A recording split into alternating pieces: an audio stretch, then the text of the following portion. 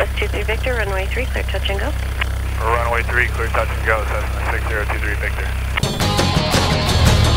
Scottsdale Tower, Skyhawk 90520 Charlie, student pilot solo, holding short runway 3, would like to stay in the pattern and do touch and goes. West 90520 Charlie, Scottsdale Tower, runway 3, clear for takeoff, make left, close traffic. Runway 3, clear for takeoff, 20 Charlie.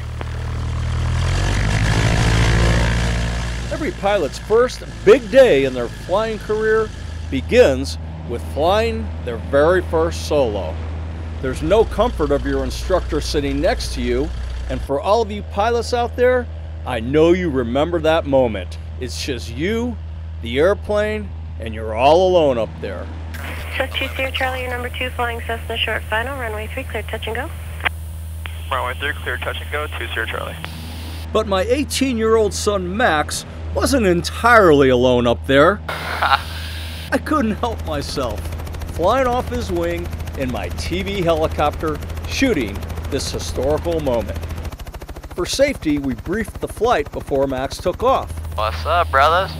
But I was most impressed with his composure as my television helicopter shared the sky, shooting his big day. I was a proud father because it was then and there that I knew Sierra Charlie Aviation had turned my kid into the second generation pilot of the Haffner family. All right. Floated a little while, but ended up getting it done. Getting her done. Man, that kid makes me proud.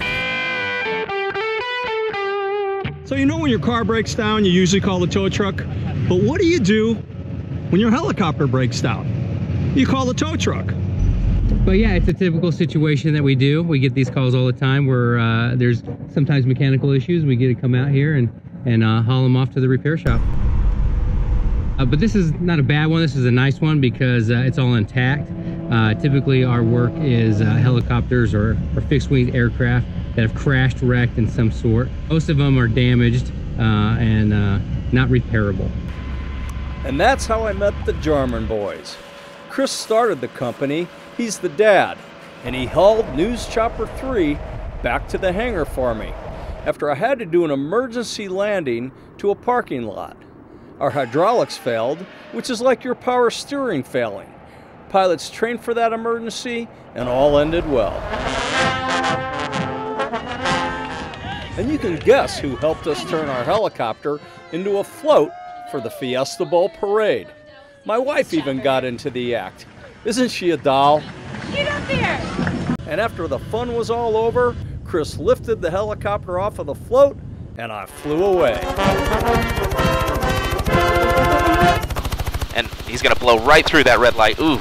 Oh my gosh. And he's really, really speeding up now. While flying a TV news helicopter, the Chopper Guy crew has covered some scary stuff, most of the time live on television. And our chief photographer, Jerry Ferguson, did a great job on this one. I'm Bruce Haffner, and this is That Chopper Guy Show. I believe that's a law enforcement truck. Oh, there we go. Looks like he's gonna uh, he's gonna lock him in or try to. Ooh, ooh. And now there's some contact, and he's taking off. So he's run the red light there now. Yeah. And he is really he's flying now. He's going really fast. Oh, this is gonna be this is not good. Oh boy. Oh boy. Oh no. Oh no. Oh no! Head-on collision with that car, an innocent person involved in a head-on crash. And this is exactly what DPS wanted to avoid.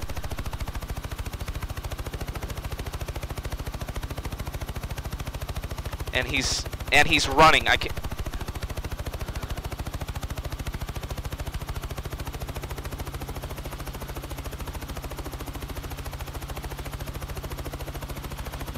He's running, he's talking to some bystanders there.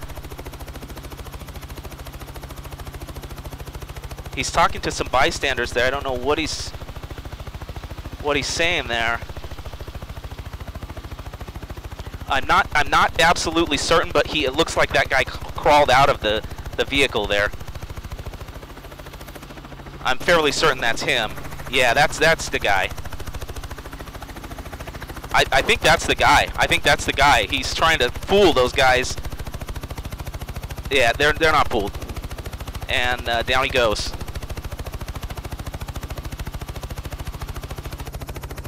Just T-boned, uh, kind of front end T-boned this other vehicle. Just an innocent person going about their morning and slammed full speed into this other vehicle. We still don't know whether that other person is injured or not.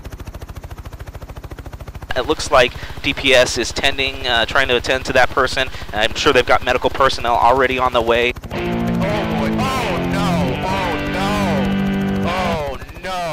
Now, miraculously, the woman that was driving that SUV escaped with minor injuries. But we've got a lot more crazy videos just like that. So why don't you press that little button down there in the corner and subscribe, and we'll see you on the next Chopper Guy show.